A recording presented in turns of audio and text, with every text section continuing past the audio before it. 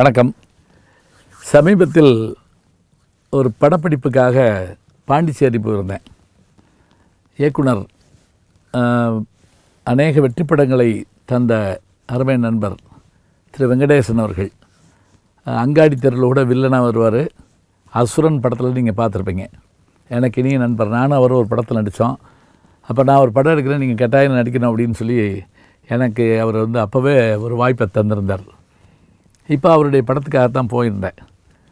ஒரு நாலஞ்சு நாள் இருந்தபோது ஓய்வாக இருக்க நேரங்களில் நீங்கள் பக்கத்தில் எங்கேயும் போய் தான் போயிட்டு வாங்கன்னு அனுப்பிவிட்டார் அப்போ நான் போயிட்டு வந்த இடம் வந்து வில்லியனூர் போயிட்டு வந்தேன். அதாவது விழுப்புரம் போகிற வழியில் பாண்டிச்சேரிக்கு அருகே வில்லியனூர்.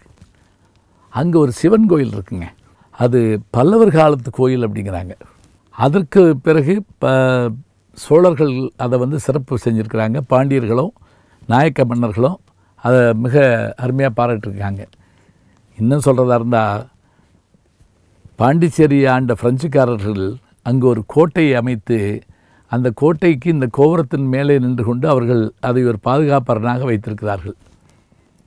அத்தகைய பெருமை மிகுந்த ஊர் அந்த ஊர் அந்த கோவில்.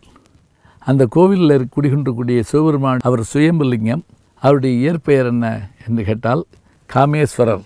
அந்த வாசல்லே போட்டிருக்கக்கூடிய அந்த பெயர் பலகையை பார்த்தீங்கன்னா கோகிலாம்பிகை உடனுரை காமேஸ்வரர் அப்படின்னு போட்டிருக்குது கோகிலம்னா குயில்னு அர்த்தம்.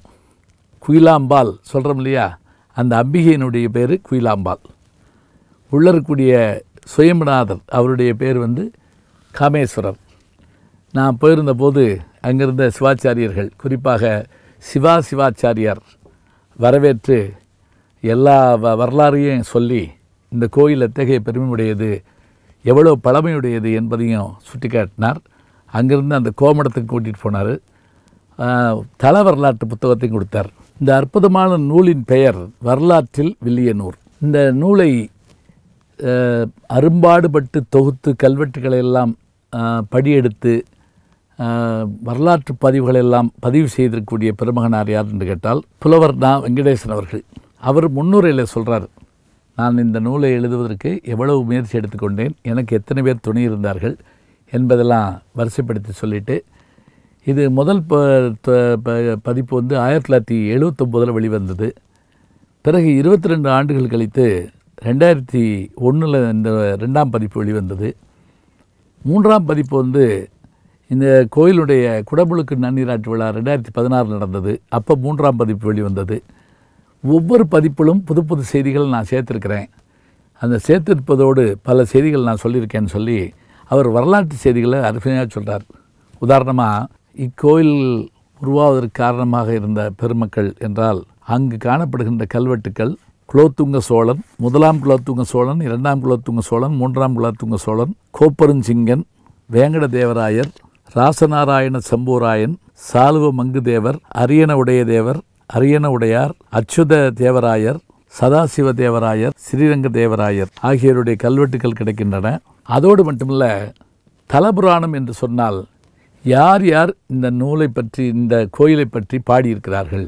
வீரராக கவி எழுதிய வில்லை புராணம் வில்லை முத்துக்குமாரர் பிள்ளை தமிழ் அருணாசல கவிராயர் பாடியது வில்வநல்லூர் குயிலம்மை மாலை காஞ்சிபுரம் சபாபதி முதலியார் பாடியது ஆனந்தரங்க பிள்ளையினுடைய டைரி குறிப்பில் இச்செய்தி இருக்கிறது டாக்டர் சாமிநாதையர் அவர்களும் இவ்வூரை பற்றி சொல்லுகிற போது பக்குவமாக கவினூறு செய்து பரிசு பெற முக்கரணம் எதிர் பல்காலும் போட்டு முயன்றிடினும் அக்கடபோ என்னும் லோபரை பாடி அழுத்து வந்த குக்களை ஆண்டருள் வில்வவனத்து குயிலம்மையே எனும் பாடல் குயிலம்மை மாலையில் அமைந்துள்ளது என்று அவர் குறிப்பிடுகிறார்.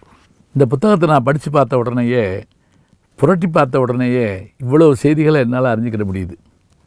இது தவிர இந்த ஊருக்கான பெயர்கள் இந்த ஊர் அமைந்திருக்கக்கூடிய முறை இதில் என்னென்ன செய்திகள் இருக்குது இதனுடைய புராண கூறுகள் என்ன இதெல்லாம் நம்ம தொடர்ந்து பார்க்கலாங்க. இப்போ நான் முதல் பகுதியாக பேசியிருக்கேன்னு வச்சுங்களேன் வரலாற்றில் வில்லியனூர் அப்படிங்கிற செய்தியை முதல் முறையாக முதல் பகுதியாக பேசியிருக்கிறேன். இன்னும் பல அரிய செய்திகள் இருக்குது அந்த செய்திகளை தொடர்ந்து பார்ப்போம். நல்ல செய்திகளை நாளும் சிந்திப்போம். நாளை சந்திப்போம்.